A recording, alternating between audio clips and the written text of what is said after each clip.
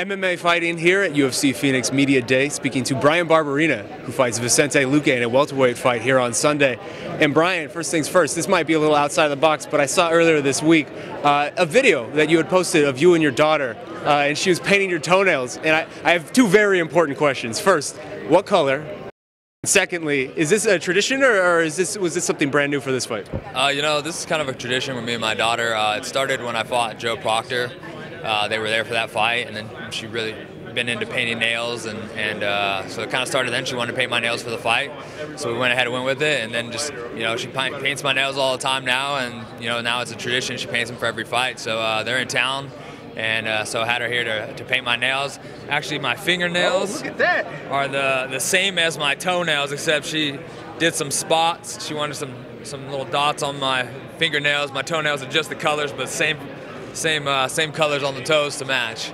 Is there any re- thing, uh, reason for the colors, or is, it, or is it relatively random? Uh, it's it's really random. I mean, she goes literally. We went to the store and she picked out whatever color she wanted. She said she wanted to do like a rainbow, so she these are the colors she picked and went with.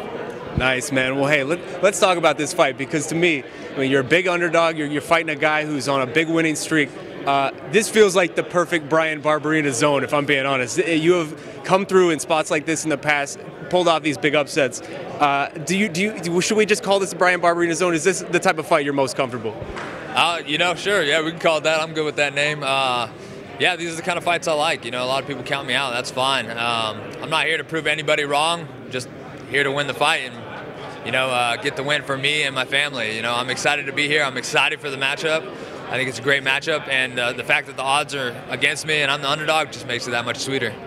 I'm just curious, like, why do you think you're you find yourself always in this spot? Because it seems to happen a lot.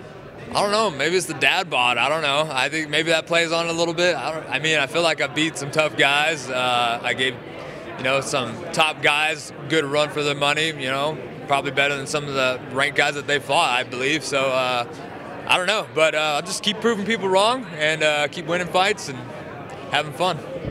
Why do you think you thrive in these moments? Like, what, what is it about you that rises to the occasion when, when people are, are doubting you like this? Uh, it's not so much that people doubt me. I just love to fight, man. I just love to get in there and throw down. And uh, the fact that it's against up competition and, and you know the stakes are higher, man, it really puts me on. And uh, I just go out there and handle business, man. Well, I want to ask you about this weekend because this is sort of a big weekend for the UFC, right? It's the start of the ESPN era uh, in proper, where this is the first big big card on ESPN.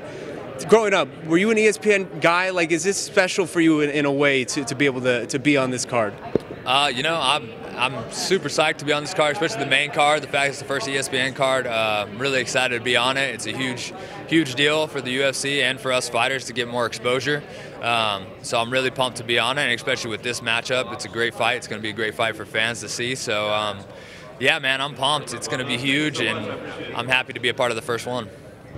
Now, maybe I'm, I'm off here, but it feels to me like this is almost like a, a, chance for a little bit of a shortcut kind of in this division, right? Because you missed some time last year, and I know that was very frustrating for you. You come back with that big win over Jake Ellenberger.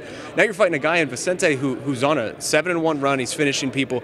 He's not ranked, but he's kind of like right there on the precipice.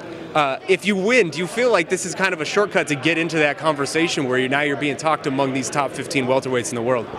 Oh yeah, you know he's he's up there. He's like you said, he's on a streak and he's doing great. I think definitely uh, helps me jump the line a little bit, which is fine. I like that. Uh, I'm not so much worried about the rankings anymore. Um, you know, they vary so much, so I'm just I'm in it for good fights, and you know, if I keep winning, then I'll get in the rankings, and whenever that happens, it happens. But uh, definitely, this fight will probably get me there, and uh, just, I'm excited to fight, man, and excited to put on a good show. That's what I'm all about. How do you how do you assess Vicente as, as an opponent? What do you feel like his strengths are? Why has he been so successful so far? Uh, you know, he I think he's really good everywhere. You know, he's tough on the, has a good jiu-jitsu game on the ground.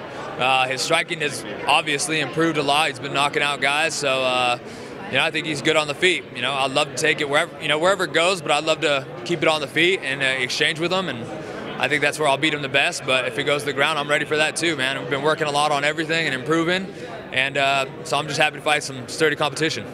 Well, my final question, man. I mean, the MMA Lab has been on an incredible run over the last a year, really, at this point. What does this fight look like on, on, Sunday? Do you continue that? When you visualize this fight, what do you see? I visualize a finish, man. Uh, you know, the round isn't clear right now, but the finish is there. I'm finishing them. And uh, you know, he's taking shots. I'm taking shots, and then I pick him apart and take him down. You know, finish him up, clean him up, put him away. TKO, KO finish. Awesome. I appreciate the time. Good luck this weekend, man. Thank you so much.